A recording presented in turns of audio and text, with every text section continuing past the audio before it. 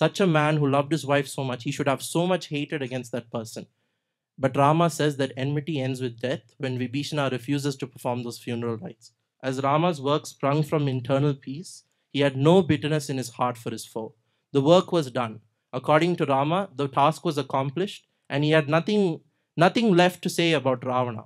Even when consoling Vibhishana, he says that he tries to focus on the positive qualities of Ravana. Not that there are many, but he tries his best, and he says that Ravana was a great warrior, and that um, he will attain the stature of warriors as as they do. So, in this way, we can see that Rama is not. It's you can never define him as one thing. Rama is a warrior.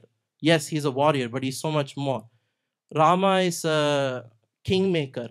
Yes, he is, defines the laws as we see when he talks with with uh, Vali. We can see how he makes the laws and how he is so knowledgeable about lawmaking and politics.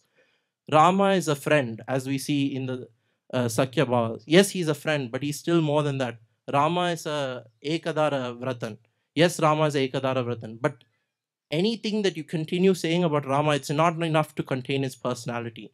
As we move on and we see more and more, Rama's true nature and his goals are reflected between the words of Ramayana. So, this sort of angle of Rama can only be accessed if you're ready to see him not just as a warrior and a kingmaker, but as his holistic and overall personality, as a guiding force and the very embodiment of Dharma itself, as Maricha says in Aranyakanda, Ramo Vigrahavan Dharmaha.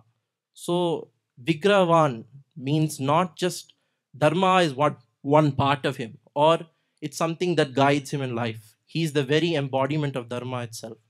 So, in that way, he's able to encompass all the tools and all the personality aspects that contribute towards Dharma.